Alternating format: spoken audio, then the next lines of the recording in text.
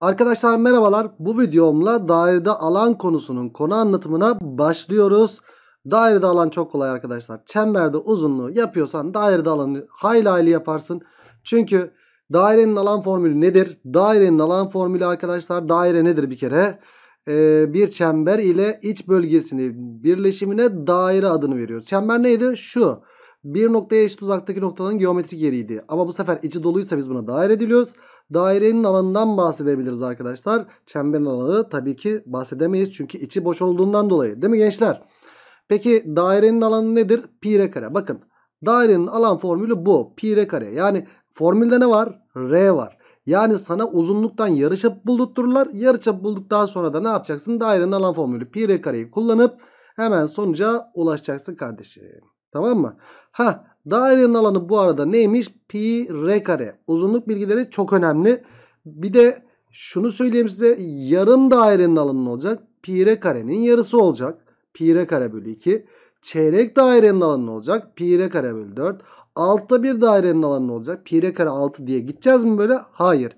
Daire diliminin alanından bahsedebiliriz bir de arkadaşlar. Şu şekilde daire dilimi verildiği zaman da arkadaşlar normalde e, bizim alanımız pi r kare değil miydi? Pi r kare. E, alfa derecelik olduğu zaman da alfa bölü 360 ile çarpacaksınız sadece. Pi r kare dilimin alanı neymiş arkadaşlar? Alfa bölü 360. Ha, bak şimdi. O zaman benim için daire dilimi falan sorulursa kendime iki soru soracağım. Bir, yarıçap nedir? İki, merkez açı nedir?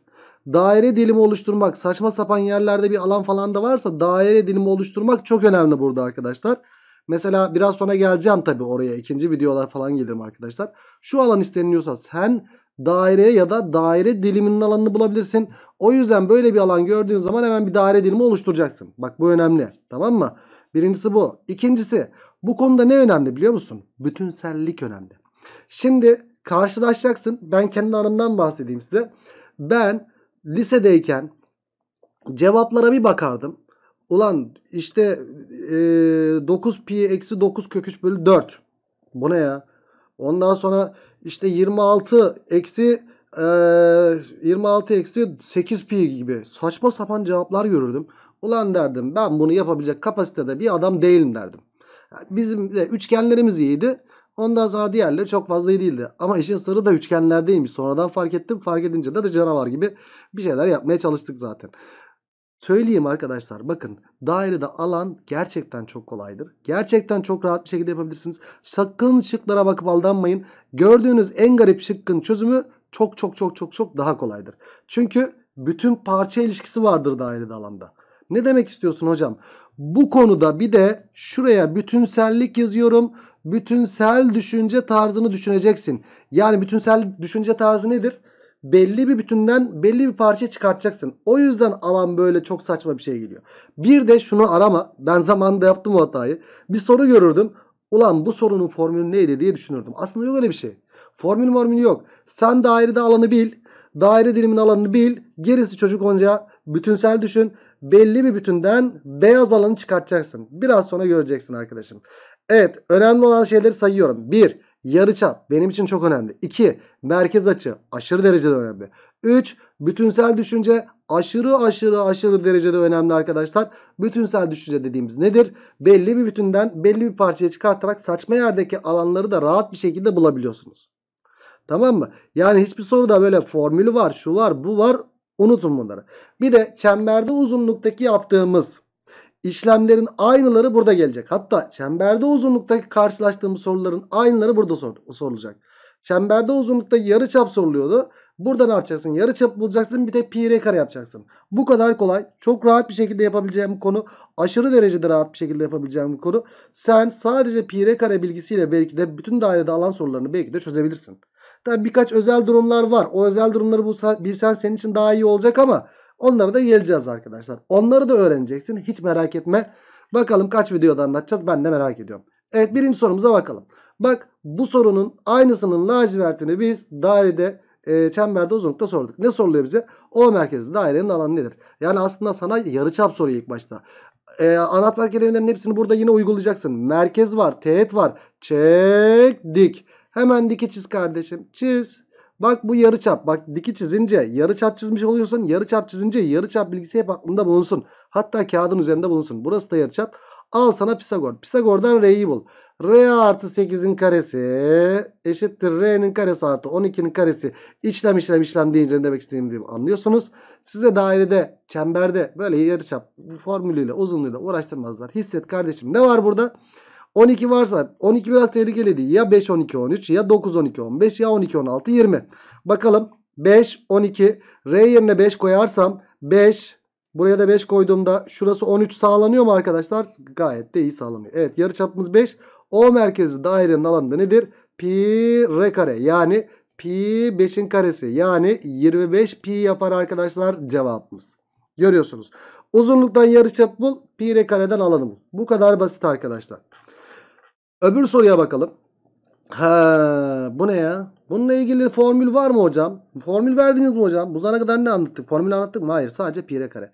Bütünsel düşünce işte burada işin içine giriyor. Bütünsel düşünce tarzı çok önemli. Anahtar kelimeni kullan önce. Burası 4 değil mi? Merkez var, teğet var. Çektik. Merkez var, teğet var. Çektik. Yukarıları da çizeceğim ama gerek kalmadı. Burası da R, burası da R. 2R 4 ise, 2R 4 ise R'yi buradan kaç bulduk arkadaşlar? 2 bulduk. Heh yarıçap bulduk. En azından şu dairenin alanı bulabiliriz. Dairenin alanı sorulmuyor ki bana. Bu bir kareymiş zaten. Dairenin alanı sorulmuyor bana. Bir Taralı alan soruluyor. İşte taralı alanı nasıl bulacaksın? Bütünsel düşünce tarzıyla bulacaksın. Düşün. Ne yapacak? Bütünsel düşünce de çok kolay. Tüm alandan beyaz alanı çıkartacaksın sadece. Yapacağın şey bu. Hadi bakalım tüm alan nedir burada? Karenin alanından beyaz alan dairenin alanını çıkaracaksın. Bununla ilgili formül yok. Kendin bütünsel düşüneceksin. O zaman düşün. Karenin alanı ne? Karenin bir kenarı 4. 4'ün karesi eksi. Dairenin alanı da pi r kare. Bak 16 eksi 4 pi çıktı. Her zaman cevap bu şekilde çıkar. Garip bir sonuç çıkar. O garip sonucu da çok rahat bir şekilde bulursun. Hiçbir şekilde korkun olmasın. Genelde de dairede alan soruları 2 satır. En fazla 2 satırdır. Bilemeden 3 satır olsun. Ve çok rahat işlemlerle çıkacaktır. Hiç merak etme. Şekil A'da gözüktüğü gibi arkadaşım. Geldik buraya. Allah Allah. Yine formül var mı? Yok. Ne yapacaksın? Önce bir anahtar kelimeni kullan. A çeyrek çemberin merkeziymiş. Çeyrek çemberin bir yay uzunluğu çizilmiş arkadaşlar burada. Merkez var. Teğet var. Çek dike. Bir uygula bakalım. Biraz yamuk oldu. İdare ediverin. Burası nedir? Yarıçap. A dikten dik çizilmiş. Ne var burada? Öklit. Hemen uygula. R kare eşittir 4 çarpı 9'dan yani 36'dan R'yi kaç buldun? 6 buldun. Süpersin. Harikasın. Devam et şimdi bakalım. Şimdi düşün artık. Düşün. Bütünsel düşün. Saçma sapan yerlerdeki alanlar toplamı sorulduğu zaman bütünsel düşün. E burada bütünsel nasıl düşüneceğim? Tüm alandan yine beyaz alanı çıkartacaksın. Tüm alan dediği nedir? Üçgenin alanından çeyrek daireyi çıkartacaksın. Evet üçgenin alanı nedir arkadaşlar? Üçgen bak tabanımız belli. Taban 13. Hep eskiden bildiğimiz konular zaten. Taban çarpı yükseklik bölü 2. Yani 13 çarpı 6 bölü 2. Eksi çeyrek dairenin alanı pi r kare bölü 4. Yani 39 eksi 9 pi gibi saçma bir cevabı yine iki satırda bulduk ve hep iki satırda bulacağız. Hiç merak etmeyin. Çok da kolaydır. Ama nasıl? Bütünsel düşünce tarzını kullanacaksın soruda. Belli bir bütünden belli bir parça çıkaracaksın. Garip sorularda garip formüller yok. Bunu sakın ama sakın unutma. Geldim buraya. Anahtar kelime. Kullanmam gerekiyor mu? Tabii ki. Merkez varsa, teğet varsa çek dik. Diki çizdin. E yarıçap çiziyorsun. Burada yarıçap bilgisi çok önemli. Bak yarıçap uzunluğu 2. Yaz. Yani yarıçap çizmek en etkili silahımız yarıçap çizmek değil mi? Uzunluktaki bilgiler hala kullanılıyor unutma. Pisagor'dan bulabiliriz ama dikkat et. Burası 4. Bir de bana ne lazım? Hani şurayı bir hafiften böyle göz ucuyla bak sen zaten gör, fark ediyorsun. Ee, fark ediyorsun burada. Bu alanı bulacaksın. Bu alanı bulurken ne yapacaksın? Üçgen alanından bu daire dilimin alanı çıkartacaksın. Daire dilimi alan için ne lazım sana? Açı. Ha, açı aklının bir köşesine geldi ya. Ulan açı vardır burada. Açı varsa da ne üçgendir? Ya 45 45 90 üçgendir. Ya 30 60 90 üçgendir. Ya 30 30 120 üçgendir. Ya eşkenar üçgendir. E, bunlar vardır. Bu özel durumlar vardır. Sen açı diye beynine sordun ya. O açı diye beynine sorduğun zaman açı olacağını düşündüğün zaman hemen zaten fark edersin. Aa burada 90'ın karşısı 4. Açı 30'un karşısı 2'dir. Yani burası 30. O zaman burası da 60 yaptı. Şimdi artık ben şu saçma taralı alanı bulabilirim. Saçma taralı alan nedir? Bu arada 30'un karşısı 2 ise 60'ın karşısı da 2 kök 3 çıkar. Bu üçgenin alanından bakın şu üçgenin alanından beyaz alanı yani bütünsel düşünce tarzıyla yine cevaba ulaşabiliyoruz. Üçgenin alanından yazayım. Üçgen alanından neyi çıkartacağız? Daire diliminin alanını çıkartacağız arkadaşlar. Daire dilimini çıkartacağım. Üçgenin alanı nedir? Dik üçgen dik kenarlar çarpımının yarısı 2 çarpı 2 kök 3 bölü 2 eksi daire diliminin alanında 60'lık dilim arkadaşlar bu sefer pi r kare 60 bölü 360 olacaktır. Şunlar şunlar gitti 2 kök 3 eksi şunlar şunlar gitti 6 4 bölü 6'dan 2 bölü 3 2 pi bölü 3 yaptı. Bakın yine çok saçma bir cevap yine çok kolay bir şekilde iki satırda çıktı arkadaşlar. Bakmayın şuraya sığmadı. Tek satıra da sığdırabiliriz tabii ki bunu da. Bu kadar kolay arkadaşlar. Bütünsel, bütünsel, bütünsel. Bütünsel düşünce tarzı bu sorularda çok önemli arkadaşlar. Unutmayın bunu. Geldik şu soruya. Aslında bu soruların hepsi çemberde uzunluk sorusu. Bakıyoruz arkadaşlar.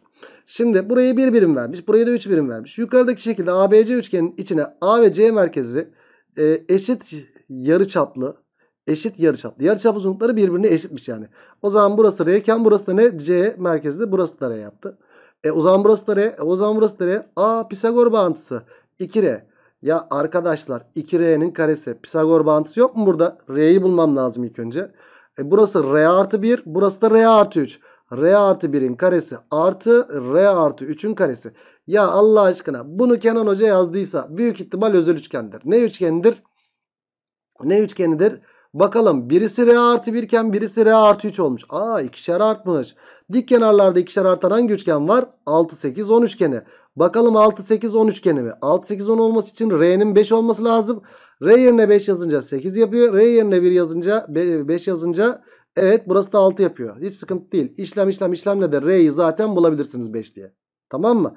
Ama gerek yok. Bu soruyu Kenan Hoca yazdıysa tabi buradaki nokta şurada kesiyorlar arkadaşlar e, Kenan Hoca yazdıysa özel üçgen diye yazmıştır. Ya bunu soru çözerken tamam beni gibi, beni gibi düşün de ÖSYM'deki adam da sorsa aynen bu şekilde yazacak arkadaşlar. Özel üçgen kalıbı üzerine yazacak. Ha olmadı hissettin olmadı mı? Yani hissiyatın tutmadı mı? Çöz ne olacak? Yani 5 saniyen gider hiçbir şey olmaz ama diğer türlü de 5 saniyede bunu bulacaksın. Neyse benden artık şu alan isteniyor. Yine bütünsel düşünce tarzı arkadaşlar. Hop ne yapacağız? Şu büyük alandan Değil mi? Beyaz alanları çıkartacağız. Bak şimdi olaya bak. Üçgenin alanından beyaz alanlar yani dilim alanlarını çıkartacağız. Üçgenin alanı basit. 6 çarpı 8 bölü 2. 6 çarpı 8 bölü 2 eksi dilim alanı. Ya hocam dilimdeki merkez açıyı bilmiyorum ki. Özel bir açı da değil. Sakın fizikte yaptığınız şeyi burada yapmayın. Burası 37 derece burası 53 derece sakın. Geometride yok öyle bir şey. Fizikte hata yapıyorsunuz arkadaşlar. Hocam 6 8 10 öyle değil mi? Hayır tam olarak öyle değil arkadaşlar. 0,600 bilmem ne sinüs 37 de. Ee, sinüs 37'nin yaklaşık değeri o da e, 0,6 bilmem ne. Öbürü de 0,8 bilmem ne de. Ee, siz öyle kabul ediyorsunuz fizikte. Ama burada sakın öyle bir şey yapmayın tamam mı? Ne yapacağız hocam? O zaman burada özel bir açı da yok. 6, 8, 10 üçgeni. Buraya alfa dedim buraya beta dedim. Arkadaşım normalde şey yapman lazım. Şu beyaz alanlar toplamını çıkartman lazım. Beyaz alanlar toplamını yazarken pi r kare alfa bölü 360 pi r kare beta bölü 360. Arkadaşlar yarı çaplar aynı olan dairelerde açılar toplamından da direkt gidebilirsiniz. Çünkü niye? Parantez aldığın zaman bak pi r kare alfa bölü 360 artı pi r kare beta bölü 360 ya. Pi r kare parantezini alınca pi r kare parantezini alınca alfa artı beta yapıyor zaten. Bir de bölü 360 da yapıyor burada. Yani alfa artı beta açısı. Yani şu daire dilimlerinde alanlarını bulurken açılar toplamından gidebilirsin. Yani pi r kare çarpı alfa artı beta zaten kaç derece yapıyor? 90 yapıyor. Ha, 90 bölü 360 ya da 90 yapıyor ya. Şu ikisi çeyrek daire yapıyor da diyebilirsiniz arkadaşlar. Yan yana getirip şey yapabilirsiniz. E o zaman ne oldu arkadaşlar? 6 kere 8 48 bölü 2'den 24. Eksi şunlar şunlar sadeleşti. 4 25 pi bölü 4. 25 pi bölü 4 şeklinde çıktı. Yine bakın çok da kolay bir şekilde çıktı arkadaşlar. Ciddi anlamda alan kısmı çok basit ama bütünsel düşünce tarzını hep sorularda kullanıyorsunuz. Bunu da sakın ama sakın unutmayın arkadaşlar. belli bir bütünden belli bir parçayı çıkartacaksınız. Burada bu soruyu örnek olarak yazmamdaki amaç neydi? Onu da şunu kavratmak için de yarı çapları aynı olan dairelerde açıları bilmesen bile açılar toplamından da yola gidebilirsin. Bu dediğimi de unutma. Çoğu soruda sana bir kolaylık sağlayacaktır bu. Tamam mı? Geldim buraya. La bu sorunun aynısını biz çemberde uzunlukta yapmadık mı? Yaptık. Ne sorduk? Şunun yarı çapını sorduk ya da şurayı mı sormuştuk? Öyle bir şey sormuştuk arkadaşlar. Al aynı soru burada gelmiş. Ne yapacaksın burada? Şu saçma taralı alan çok iyi hatırlıyorum bak lisede emin olun bu soruyu yazarken onu göre şey yapardım. Bakardım soruya işte o soru bu soru. Ya bunun formülü ne ya? Formülü vardı bunun ya diye düşünürdüm. Sakın öyle bir formül yok. Formüle dair işlem yapmayın. Neyse bu bir kareymiş. 6 burası da 6 burası da 6 o zaman 3 3 yaptı. Bunun yarıçapı 3. Çemberler birbirine değdiği zaman ne yapıyoruz? Hop merkezleri birleştiriyoruz. Tam olarak nereden geçiyordu? Değme noktasından. Yarıçap çizdiğin için bak unutma yarıçap bilgisi. 3 burası da 3. Hocam bu da yarıçap çizdim burada da. Bunun yarıçapını bilmiyorum. R. Buraya da R diyelim. A şurada bir dik üçgen var. Dik üçgenin bu kenarı lazım bana. Tamamı 6 olduğu için buraya da 6 eksi kaldı. Pisagor bağıntısı. Hayır kardeşim hisset. 3 varsa büyük ihtimalle 3 4 5 üçgendir. R yerine 2, koy, 2 yazarsam burası da 4 sağlanıyor mu? Sağlanıyor. Şimdi olay bitti. Nasıl bitti? Taralı alanı nasıl bulacağız? Karenin alanından yarım daireleri çıkartacağız. Hocam yarım daireler iki tane yarım var. Tam daire yapmaz mı? Niye? Yarı çapları aynı olsaydı tam daire yapardı. Ama birinin yarı çapı 2, birinin yarı çapı birinin yarı çapı 3, birinin yarı çapı 2 olduğu için arkadaşlar buradaki yarım daireler tam daire yapmıyor. Ayrı ayrı çıkartacaksın. Karenin alanı nedir? 6'nın karesi. Y- yarı çapı 3 olanın alanı nedir? Pi r kare bölü 2. Yarı çapı 2 olanın alanı nedir? Pi r kare bölü 2. O zaman ne olacak? 36 eksi şurada eksi 9 pi bölü 4, 2 eksi 4 pi bölü 2 sadeleşme yapmayalım payda eşitlenmiş zaten ya burada. Eksi 9 eksi 4 eksi 13 mi yapıyor? Eksi 13 pi bölü 2'ye eşit oldu. Evet bakın 36 eksi 13 pi bölü 2 gibi saçma bir cevabı yine kolay bir şekilde bulmuş olduk arkadaşlar. Şekil A'da gördüğünüz üzere. Geldik buraya. Evet. Soruya baktık. Yine formül var mı? Yok. Ne yapacaksın? Bütünsel düşüneceksin. Belli bir bütünden şu beyaz alanı çıkartacaksın. Yani buradaki temel mantık ne arkadaşlar? Yarım daireden, büyük yarımdan tam daireyi çıkaracaksın kardeşim. Olay bitti. Ama ne lazım bana? Yarıçap uzunlukları lazım. Çünkü şu tam dairenin alanını bulmak istiyorsam. Bu arada arkadaşlar çemberler nasıl? Birbirine teğet değil mi burada? Tam C noktasında birbirine teğet.